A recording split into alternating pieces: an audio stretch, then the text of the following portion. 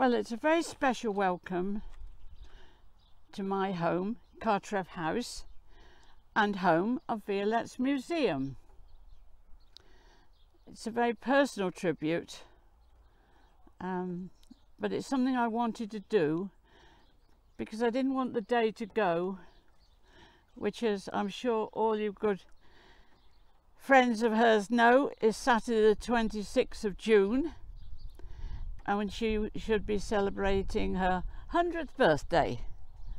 So, happy birthday, Violette.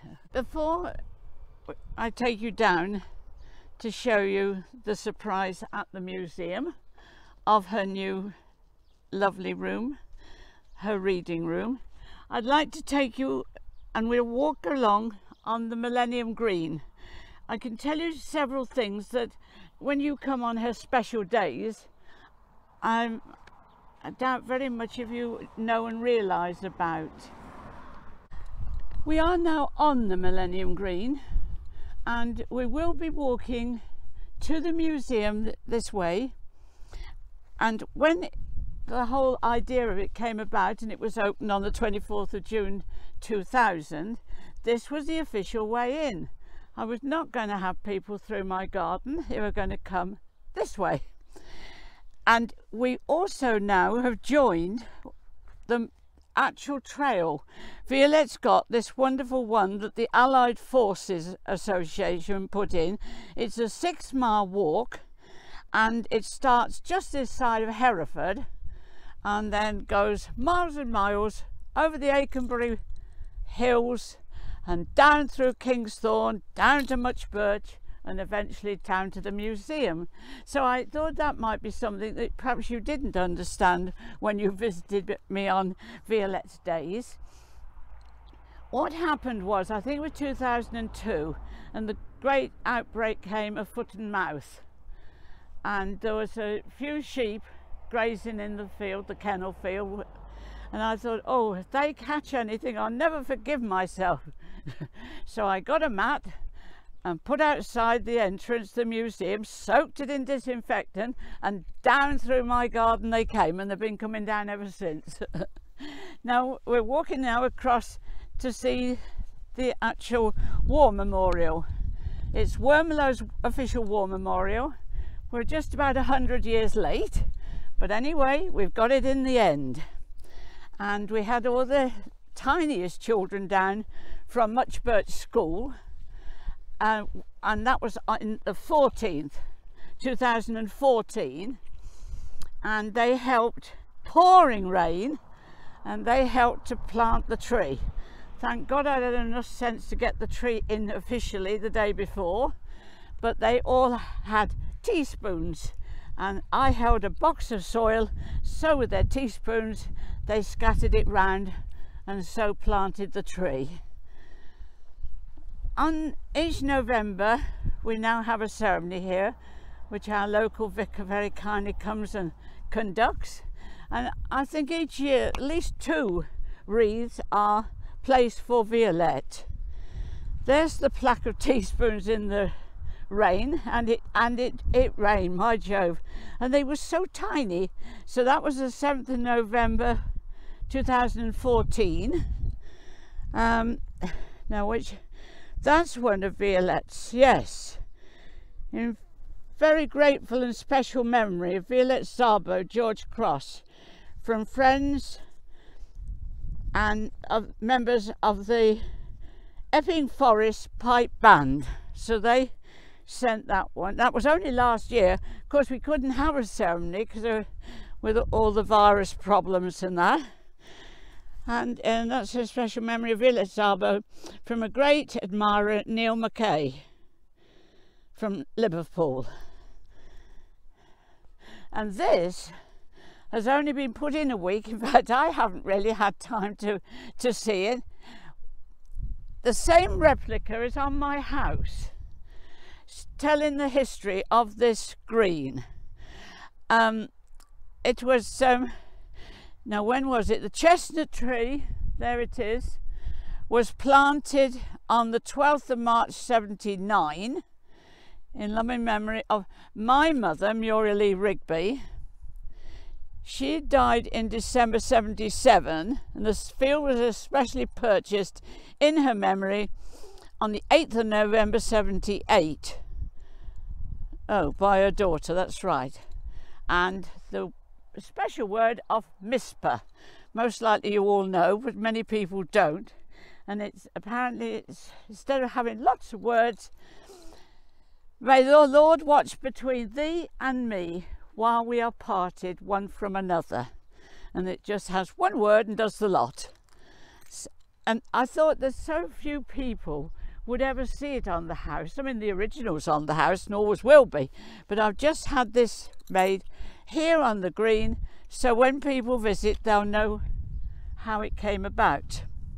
So I bought a field and then I had um, four little cattle that my neighbour immediately said, um, Peter Paul, what are the four? Um, and now we've got the four disciples. Oh, well, I'm sure you'll all know. And that went on for a while, and then just before the millennium, um, I think it was the Queen who apparently wanted 250 Millennium Greens set up in the country. And so I decided to give her give, give the field to the country and it was accepted and now is safe for a thousand plus years. Never can be built upon and always be a, a green open space and I think well as I fail to get married and have any children at least for a thousand years my name will live on because it is the Rosemary Rigby Millennium Green which pleases me very much. And um, there was a very nice ceremony happened in London at the end of that year, and I think it was the Queen Elizabeth Hall or something. It was a very big place, and all the representatives from Millennium Greens were invited to go, so it was very interesting. But um, it, most of them, of course, had to raise the money to get the field. But having given it and it's carried my name, it was rather a, a lovely, happy day. And um, so that's another thing to share with you. Now, Violette had lots to do with this field. I expect you all know, without a fox, she would have never visited Herefordshire. Her uncle was the whipper in with the South Herefordshire Hunt for 15 years. Apparently that's the master's second pair of eyes and that brought her down as a little girl from London on a school holiday. Um, one occasion there was an old cart horse grazing in here. That was too much to resist for Violette, so she decided she'd like to have a ride. So holding on to his mane, she ran alongside, gave a jump onto his back. Of course, the cart horse wasn't used to carrying anybody, so he immediately bucked and off she fell. So it just showed what a funny little girl and, and so brave, you know, and all these things she did and, and didn't seem to worry any of her. Then another time, a young man called apparently with his motorbike. Well, again, she wanted a ride. So she sat on the back and apparently tore around this three and a half acre field I think about a dozen times. Violette, apparently just like an aeroplane, holding on to his waist, I suppose, with her arms, but her legs straight out at the side, and, and, and thoroughly enjoyed um, th that trip. but again, not everybody would have wished to go on because she was only little, but that, that didn't matter. And then she came back here. The last time we can um, know of her being here was the first week of May 44 and um, she taught the local children there was one gentleman living on the hill he came every year on her special days but he has now died several years ago but he was one of the children that she taught to play rounders. And a few years ago the BBC wanted to come and, and reenact the idea. So they came and uh, it, of course they wanted children. So I went up onto the hill knocking on doors saying, can I borrow your children? I came down like the Pied Piper with a nice group of children, and the and the it was duly um, filmed and transmitted. And they they very kindly left me with the bat and the ball, so they're in the museum. All these uh, treasures that have to be look, looked after. Right, we can move on. I think now towards uh, the the museum. That would be lovely. So we will be walking on Violette's own walk in a moment. And the, it's looking fairly tidy for you, which is wonderful. The farmer came and cut the hay last week, came back, baled it, and it left yesterday and it didn't have a spot of rain.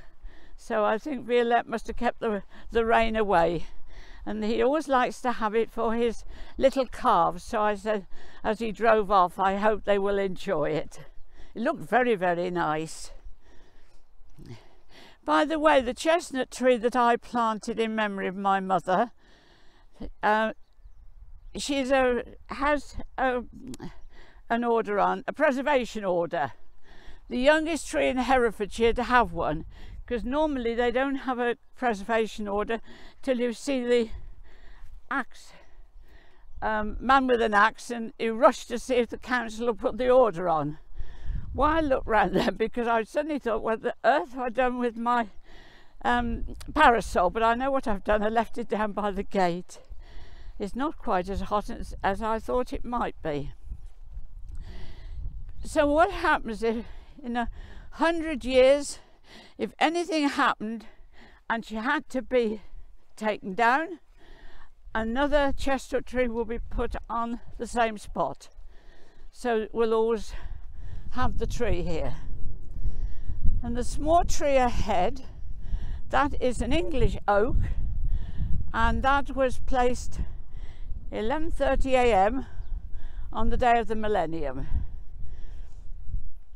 And you who were here and came when Violette, her museum was open, the 24th of June 2000, and Virginia McKenna, who played the part of Violette in Carve Her Name with Pride, she came and opened the museum, I don't know, about two, two o'clock, I think, and then at four o'clock, she walked over to the chestnut tree and opened the Millennium Green. So the two things were on the same day. So there's Violette celebrating uh, a 100th anniversary and the Millennium Green and the museum celebrating their 21st. It is another interesting fact. So now we're on the on her, her route and the idea is they leave from just this side of Hereford and it's quite a, a stiff one I understand and the destination is the museum.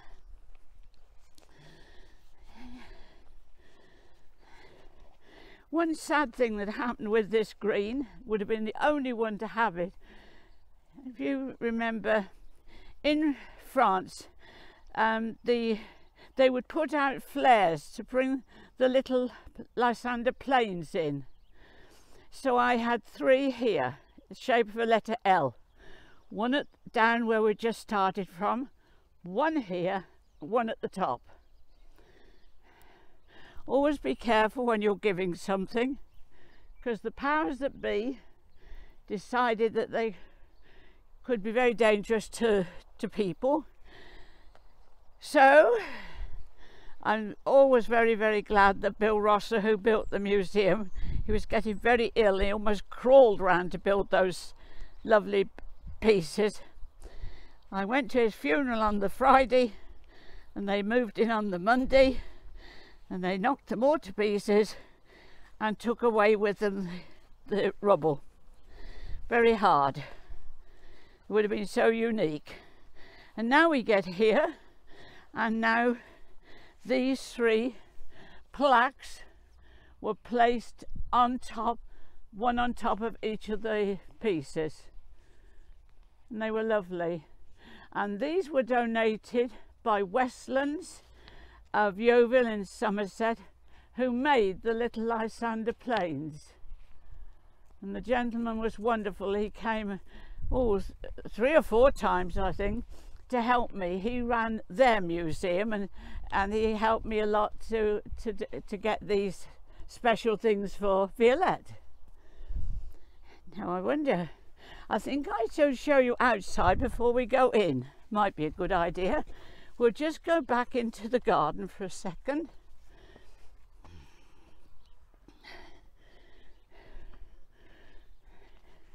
You who come every year will remember the rose bed with 23 red roses at the end of the museum.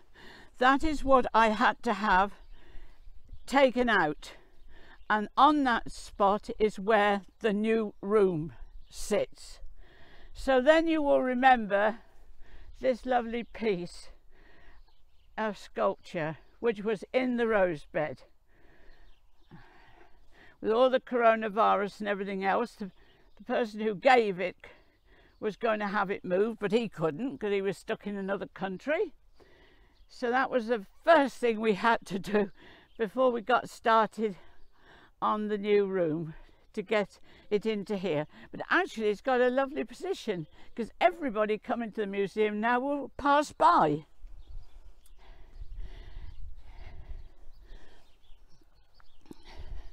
Now this is the original on the left I'm sure you, I have a job because this young man, Joe Price, who was the stone um, and, and built it, stonemason, he's made such a wonderful job.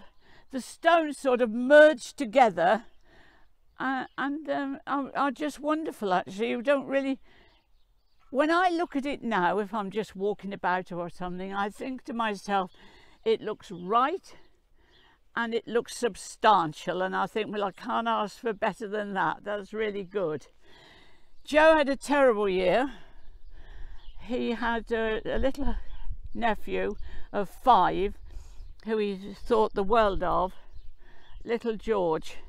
And little George died. Not of the coronavirus he had that to come. His grandfather caught that and he died of that. But this little tiny boy died. And trying to think of something to give the uncles a bit of a lift. I said to him, now George and I, we've got a challenge for you and we want you to carve the letter G in a stone. And now I'll take you and show you. The letter G is carved and the tiny boy's in heaven.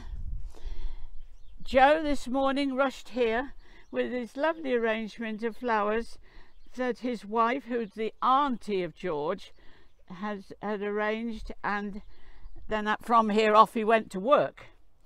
And I've a lot of people know because I had a wonderful tortoise that I had for many years. And how strange because little Albert, who is George's cousin and Joe's son, three years old now, bought a tortoise. And so all his pocket money's gone and George has a tiny tortoise. And I, I hope they, they know that you will all appreciate. And they've got a big plan on at the moment that they want to walk to Woodacombe. Now, is that right? Oh dear. In Devon. No, Yes, Woolacombe, that's right, in Devon. Since I've never yet had a holiday because I've never had time, I, all these things, I don't know them personally, but I, I hear of people speaking of them. And um, so they are having a sponsored walk and hopefully, please God, they'll raise a lot of money in George's name, which will go to help little children in Herefordshire. Now I said it's going to incorporate this stone with a little competition for tiny people visiting the museum because I think sometimes they find it a bit trying. So the idea is they go and if they can find the stone with the big G on it, they're going to have the prize of a lollipop and they're in the new room already. I didn't know it would be a lollipop. I said to Uncle Joe, what was George's favourite sweet? And he said, a lollipop. Oh, well, I said, it'll always be a lollipop. So I'm sure a lot of little ones coming will have lots of fun and enjoy eating a lollipop. So there we are. Now I think we'll go. I don't know whether you have this flower in your garden. I, I, I don't know. But uh, apparently it's called the prettiest weed in Herefordshire. I didn't certainly plant it here, but she's settled so happily and she's just in front of the museum now. So, but I think it's very pretty.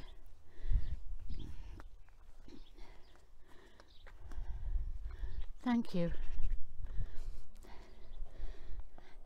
I notice you'll see we've got three steps here, but don't worry, anybody who wishes to visit in a wheelchair, we have a, a lovely gate for wheelchairs and the, both gates have just been painted. A gentleman rushed down um, to paint those only this week, trying to get ready for, for you to see, see what we're trying to get up to.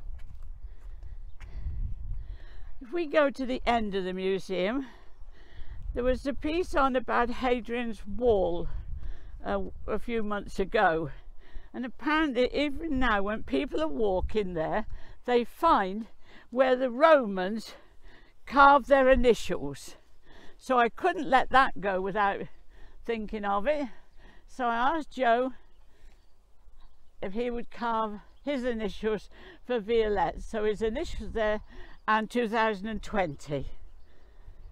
Oh, and another interesting thing, we found a stone, a V for Violette, put in by Bill Rosser so we looked after it till the wall was up to there and it's been replaced. So now as you can see I haven't got a rose garden but I've got plenty of grass growing very nicely and I hope you'll all think that wall is beautiful.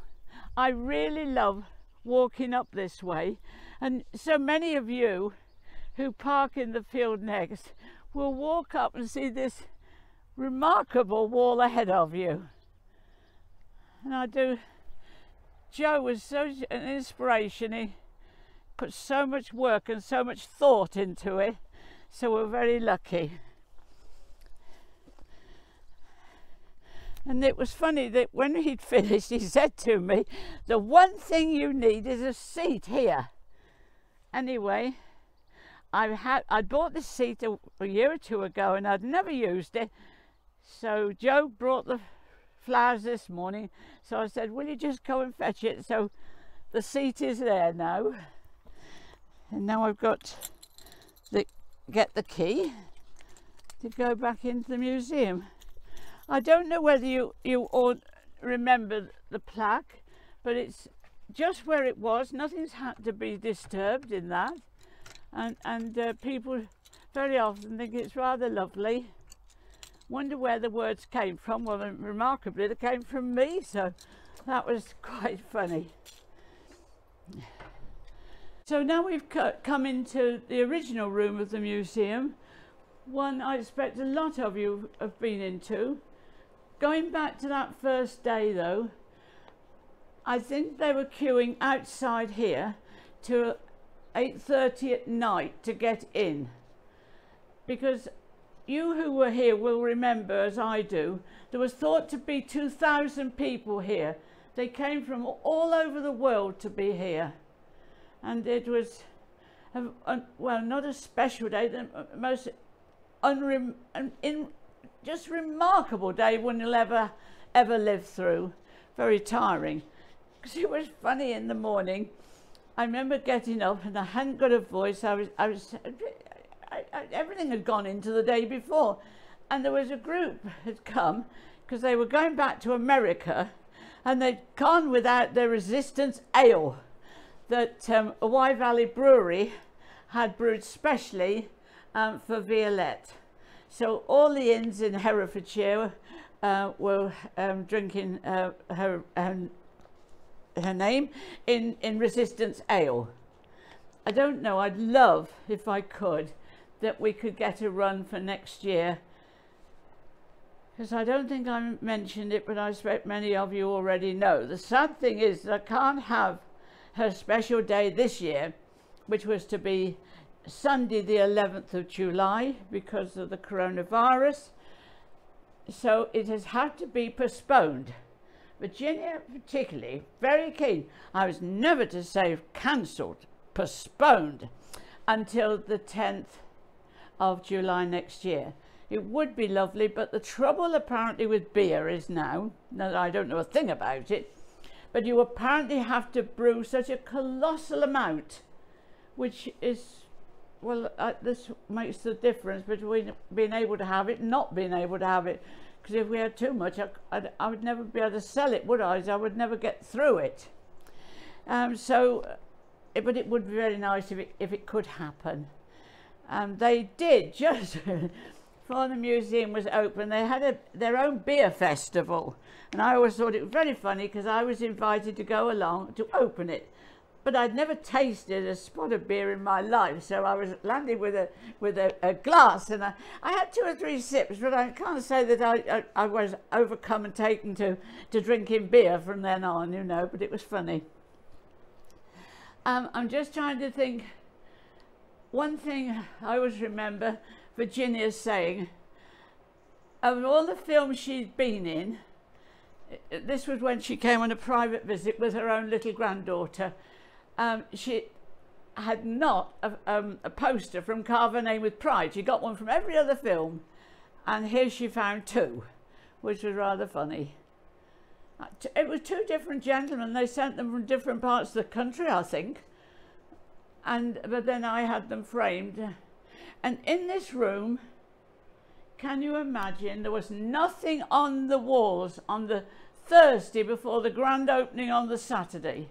This wonderful young man came from Hereford Museum and he brought the into four big plaques in his car. God knows how he ever managed to get them here. I know he came at 10.30 in the morning. We worked to 7.30 at night. I know I couldn't do it now, but I, uh, I, I, don't know how I did it then. My arms just ached and ached. It was really, really hard. I've managed to, we have an archway through now you can see and it's into her reading room, Violette's reading room. And it was quite interesting because there's a very nice young man in London whose mother went to school with Violette and um, I told him uh, it was to be the reading room and he said well I would like to think that it is going to be Violette's reading room. So it is. That's that's how it is now. He came at the time when we launched the appeal for this original museum and I got him um, accommodation. It was quite a lonely farm who, who took guess. And I never forgotten because he said, when the dark came in, a black cloud falls over Herefordshire. Well, apparently he's never been in the dark in London because they've always got lights. So he found it very, very different. But it was a lovely, and it was his mother. She never came, she wasn't well enough. But I always remember her telling me that Violette's hair was as black as a raven's wing with the same sheen upon it. So it must have been very nicely kept and, and very lovely hair. Yes. Now we'll go through the archway and we're actually going into the, the new room. This is what I hope will bring you all so much joy as it has me, but even more wonderfully that I feel it has Violette. Because I came in just after it was almost semi-finished, and I walked in here and the peace was incredible. And I knew then that Violette was saying, it's okay, and that she was happy. She, she has all sorts of funny ways to make sure I know what she's, what she's saying. Not that I have ever seen her. I think she'd know that would be a bit too much. She'd lose me then. But um, I, I know when she when she's happy and uh, so it was lovely to know that she was happy with it By the way, there are the lollipops in all the different colours. I wonder which, I was thinking last night when I put them in, I thought, I wonder which colour the little children will choose. But they're all there anyway, ready for them. Um, that's the, uh, the piece about this remarkable walk that you've just ended on. And that is, um, uh, so people love to have these um, set forth. I wanted you to see that because that's one of the photographs on the Millennium Green 11th of November effort. And all the children, I think they've all, they've all written a poem there, but these are the bigger ones. The, they were the tiny, tiny people at the, the, the first one. Now, many of these pictures nobody's ever seen. Heaven knows how but in the bungalow I've had to store them for years and years. And it, this one is a funny one with the Lysander plane flying. and a gentleman came several years ago and he was talking about this picture and I said, well, how interesting. Because I've got um, a picture like that at the bungalow. He said, well, actually, I, I commissioned it. so poor man, he didn't see it. So one day I hope he'll come back and it'll be here for him to see and enjoy. Yeah, I thought it was really, really strange that. And um, that was an interesting uh, piece. Um, it was at a hotel, the Holme Lacy Hotel, which is a Warner's. And quite a lot of people come to stay and Violette has a beautiful um, suite there. And there is Virginia cutting the violet ribbon and we're together in different pictures and it was a wonderful day. That's been in the, up in the uh, bungalow so I've got nowhere that I, that I could possibly show it. It is lovely to, that it's here now where it should be. By the way, all the pieces of furniture um, I've begged. So this beautiful piece is from the Chase Hotel in Ross on Wye. So you have stayed at the Chase will remember it, I'm sure, because it was in the entrance hall and I used to watch it and think what a, how beautiful it was every time I went there. And so when I heard they were unfortunately going to close, I contacted the manager and said, could I possibly have it for Violette's room? Which is quite peculiar because I've had it now, it might be a couple of years now, and I've had to store everything that's in here in my wonderful garage down by the road. There's the fox. Always remember, she would never have come without one. I have heard it said that sometimes there could be X number of foxes at night in that little field opposite where the sheep were when I was worried about them catching the foot and mouth.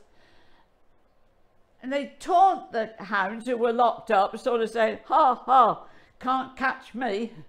We're and of course they couldn't catch them, but um, fancy that the, the, the, animals would, would think that way and do that. It was really strange. And now that's the city of, um, oh crumbs, where is it? The, the, the Lord Mayor came a year or two ago. Stoke-on-Trent. And they brought me, she brought those two. There's a little flying Lysander. That's the one that a gentleman in Rugby made. And it's made from matchsticks. Isn't that remarkable? And these wonderful glasses, this marvellous gentleman, he was so frail, I'd see him down at the gate and I, oh, will he ever make it to the museum? And he had all this wonderful work. And her poem, her wonderful poem, The Life That I Have, is all engraved on the glasses. Oh, and here's Tem. You must see Tem. He's been away for a few years because he had to go to Tempsford um, because they had a special event. And the lady who owned Ted, she came here some years ago now. She was a very tall lady uh, but she was known as Tiny. And she and her husband met at, the, at Tempsford and they married from there. And uh, so Tem has come back. The pilots flying out on these very dangerous missions would ask if he could accompany them because the feeling came that if Tem went with them, they would return, which is a nice thought. So I'm also pleased to, to now have him back again. That is lovely. The two, um, the Lysander on the ground there with the young agents just coming off and one of the uh, got a gun trying to guard them as they leave the plane and the flying one. They also came from Westlands from their from their museum. So I've had those the whole time and they have been up the, all the time. Oh I hope you've noticed the lights in here which I think are just wonderful I I'm so glad they worked and everything and I've got the most wonderful storage because there's a lovely space below oh England under Hitler I always say without that book, I would never have done anything in the museum. But when you re read it and realised that had they marched in here, there would have been nothing for us at all. And that's an interesting piece. The Butterflies of Berlin.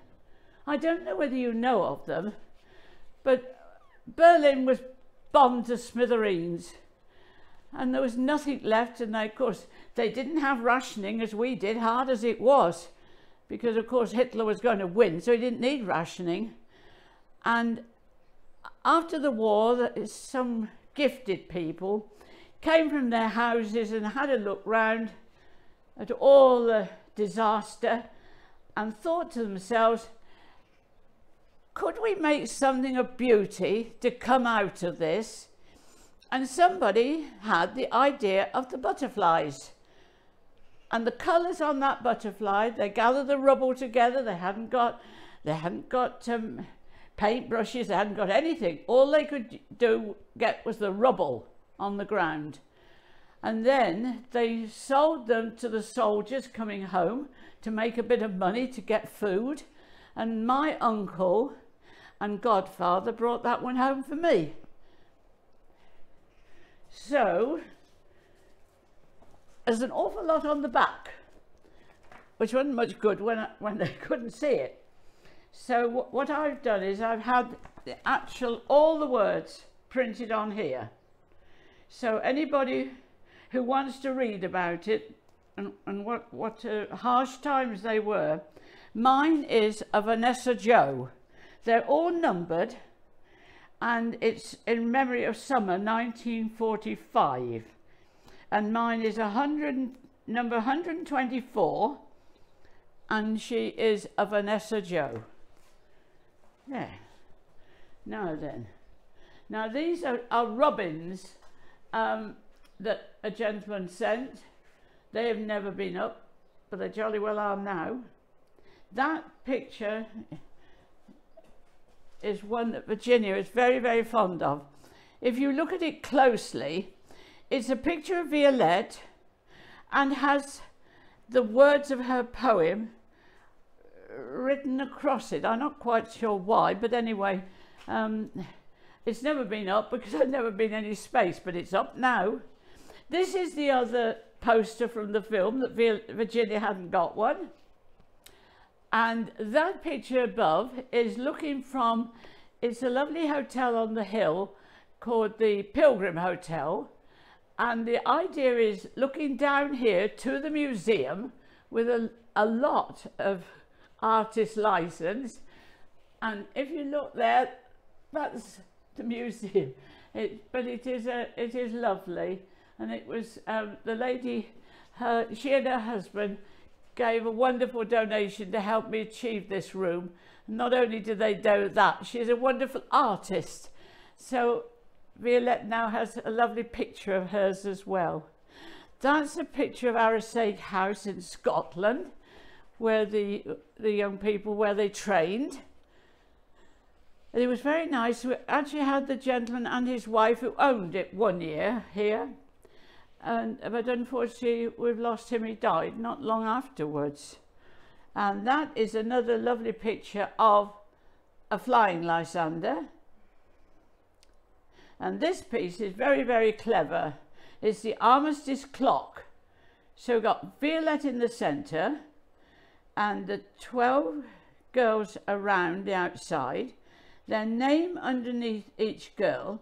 Then you look to the four corners and find where each was put to death in the camps. The gentleman in Worcester did, I, I, I think it's marvellous, not only did he think of it, but he, he made it, it came to. I expect you'll remember the girl, the ATS lady. She was in the other room, but she's had to move over because her, her space went. And of course, you'll remember the wonderful picture of the girl on the roof which a gentleman in the next village, it was a very special thing to him, was coming here on their bicycles, he and his mate, and he said, they got off at the gate, and he said, I looked up, and I said to my mate, and what the devil's she doing up there? And he said, at the time, she wasn't holding on, she was just balancing with her arms and running. They say there wasn't a drain pipe she couldn't scale or tree climb. And apparently the family nickname for, for her was the little monkey. She was known to be the little monkey who grew up and then took on the Gestapo. I expect many of you, I don't know whether it's still in existence, I hope it is, had the magazine called This England, very patriotic and went all over the world. I had a lot of help when I was getting the museum from Canada and, and, and Australia often send donations, which is interesting. And um, it was a four page spread. And the gentleman rang and he said, how lovely if you could get that framed. Anyway, I rang this England explaining I haven't got any money, but I would very much like it as long as they could do it and frame it, and they brought it. So uh, it's always been greatly admired all through the years, that has. And oh, then we've got some more pictures that have been able to come different people. Oh, that was Virginia's gift to me when she came to help me launch the appeal for, for the museum with herself and Paul Scofield working on the set of Carve Her Name with Pride. And the lady on the right is Odette Churchill, who worked the whole um, 16 weeks with her to help her to perfect her role. And Virginia said at the time, you'll notice we're laughing she said, when you try to portray a character and, and as tremendous distress in it, in the role, when you have your break, you, you, just, you just need to laugh, which sounds um, very sensible, doesn't it? Um, and, and this little cabinet, I begged from Simply Stunning in Wormelow and it's just wonderful. It's got two lights in it and I'm so thrilled because I'm going to be able to keep things that have and for sale. If I need something, I've only got to come through the archway and just get whatever I need. This gentleman arrived last autumn and I wondered myself whether it might be that Violette was, when captured, was actually on her way to, to meet him. I'm not quite sure. But his wife had most carefully kept everything, all his clothes in a, in a, a big suitcase. Well, I got the suitcase as well. So I think he's got a change of everything he needs for at least 12 months. But it's lovely that, that, that he, we've got him. It really is. That's Douglas Bader. And when I was trying to get this first off, in Worcester, there was a gentleman, he wrote books and he would take over the Shire Hall. Unbelievable what he did. And you would go in, you could buy your book, and then there were tables all the way down the whole length of, of the, the big Shire Hall, and there would be all these very, very frail, elderly, handicapped pilots who used to fly in them. And the, the books would go from one to dum to dum and they would all sign them. It was a very unique thing and it worked. And I remember the one year when I was invited to go, I had a stand begging for some money to, to get the museum for Violette. But I remember that Lady Bader was there that year and it was very, very nice to meet her. And just to put the cream on the top, I remember, I think it was a hurricane. And this plane flew the whole way down the street, circled round and came all the way back up. It was quite impressive. And you will see with, with his image, such a lot of the different pilots have signed. That lovely painting is quite new. It's a work of a lady in Hereford and uh, she'd only recently lost her husband but she phoned me about October time and said um, she would love to paint Violette's image and she wanted to do it for um, as a Christmas present for Violette and myself and she did and it came just before Christmas and that's the Epping Forest Pipe Band. Do you remember when we were over at the War Memorial? They'd laid a wreath last year. Well, there they all are in all their glory, uh, with Virginia in the middle as a crowning glory. it's such a lovely, bright picture. It was lovely. They came and they led the parade the, the year they came from Park Hall in Wormelow to the museum. And there's Oh, that's Violette, and that's the poster that uh, Wye Valley Brewery um, commissioned uh, re, re their resistance ale. Oh, I think it's lovely. They did it beautifully. Oh, and that's on one of the days. That's um, myself and with the one of the FANY wreaths, and, and, and with, with our vicar, which was lovely to have. That lady was mayor of Monmouth in 2000 and she was had been a buckmaster before she married.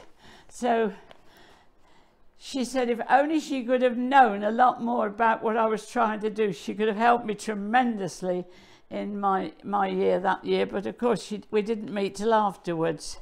That's one of Tania, looking very happy, handing out leaflets. On, that's on the day of the opening and that's the poem to a rear gunner, which I understand is a very, very dangerous position.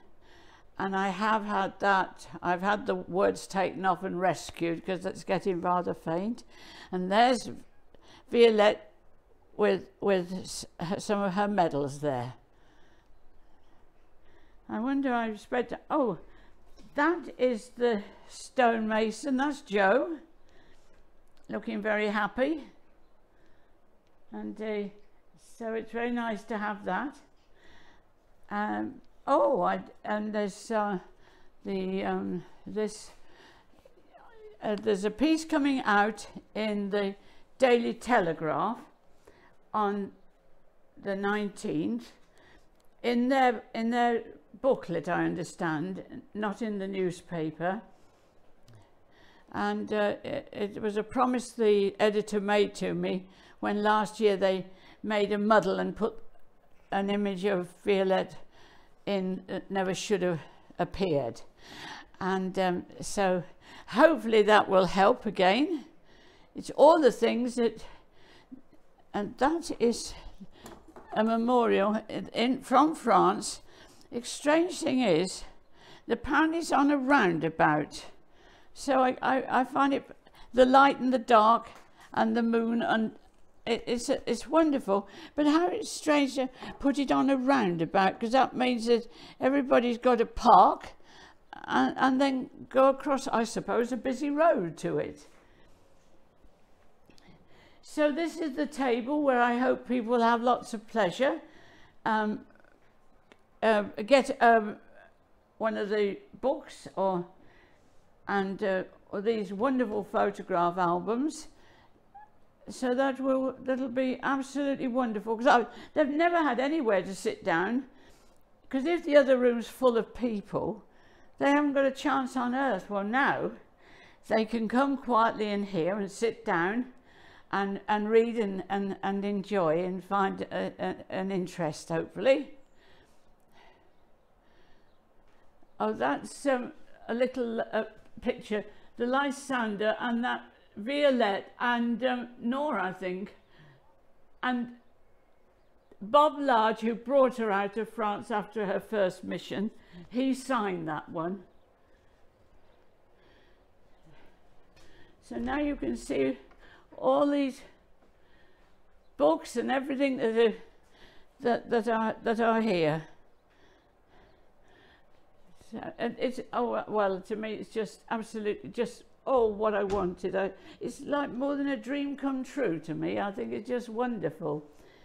If, um, if anybody ever thinks that they would like to give a donation to help me to continue, because I can assure you, £36,000 having gone, um, the, the, the, the cupboard's rather bare, you know, so it would always be wonderful always be most appreciative if that was possible.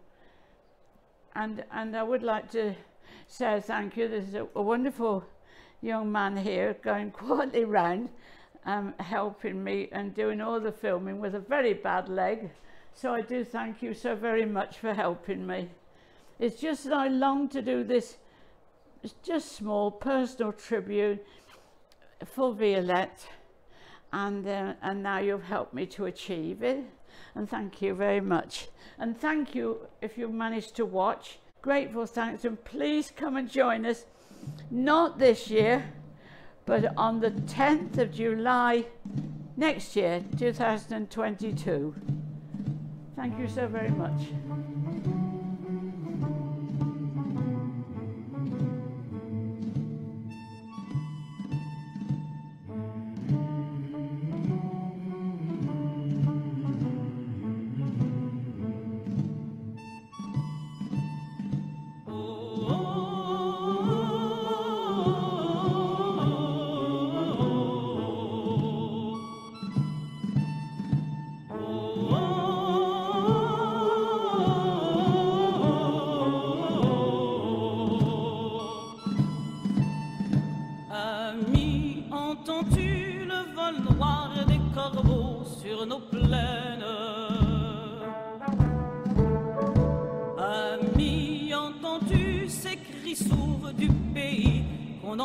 Seine